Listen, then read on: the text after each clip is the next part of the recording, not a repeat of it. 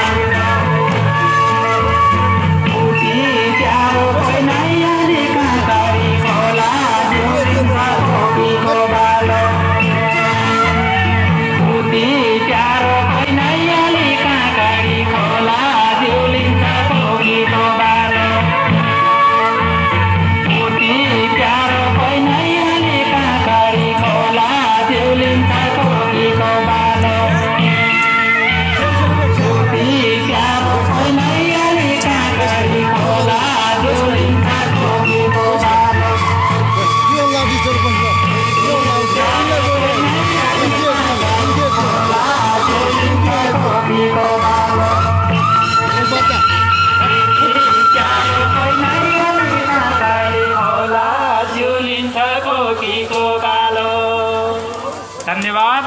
अब तमहरू थाकेका औलाउ घाम पनि लागेको छ। भगवान् इन्द्र देवताले हाम्रा कुरा सुनेका छन्।